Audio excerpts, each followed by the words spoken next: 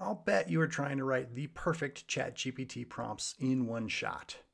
Well, there's a much better way, and it's called priming. The reality is there is not one prompt to rule them all. With ChatGPT priming, we interact with the chat for a couple of iterations, and the result is much better. It also gives a bunch more flexibility to make changes or include variation without needing to start over. So let's jump in. You've all seen this. It's the most basic level one prompt. The result is great if it was still the year 2022. In this case, the response ChatGPT 4 provides lacks continuity, specificity, direction, and it's generally just average. Let's see a level 2 prompt.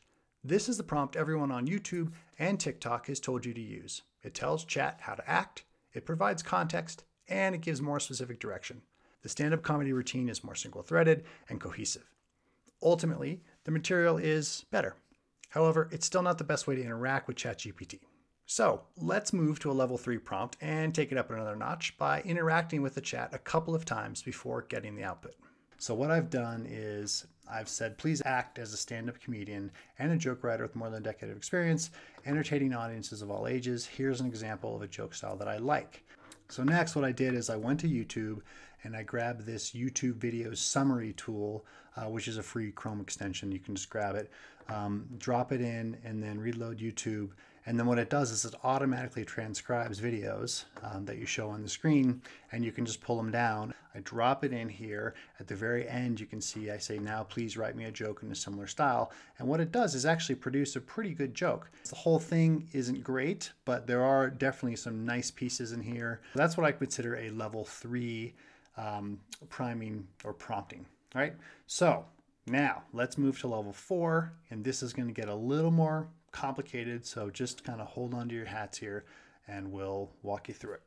So the first thing I'm going to do is create a prompt that analyzes jokes that I like.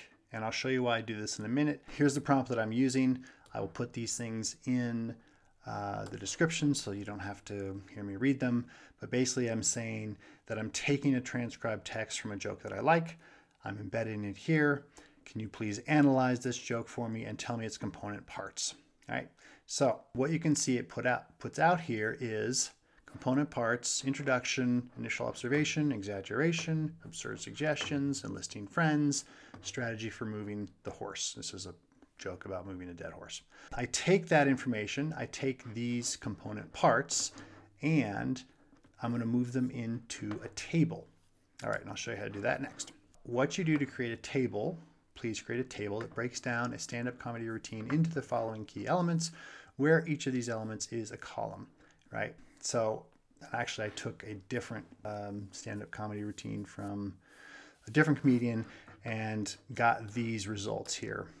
Relatability, exaggeration, wordplay, etc. So then fill the table with 10 rows of data where relatability equals awkward family situations. So what happens here is you get this really nice table that breaks out a whole bunch of different comedy bit opportunities. I like using the table because you can go through and kind of pick and choose the elements that you like. And, um, and then you can make changes to those things and adapt your bit according to something that feels more right for you. So now I've got this nice little table.